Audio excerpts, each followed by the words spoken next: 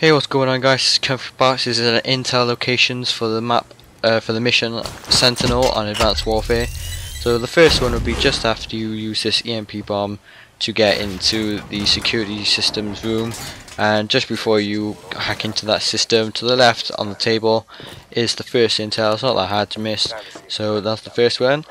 And the second one is going to be, uh, I'm trying to remember now, which was it? Uh, the second one, ah, here we go.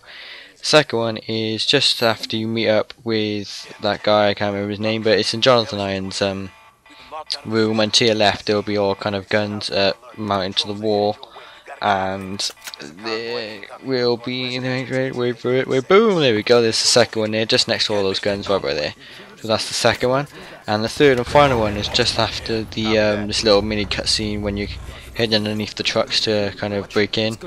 Um, they'll just, instead of grappling up onto the top of the crates and stuff, go underneath one of the underneath one of the crates, and there will be one on top of like a little mini crate. So I'll show you now. There we go.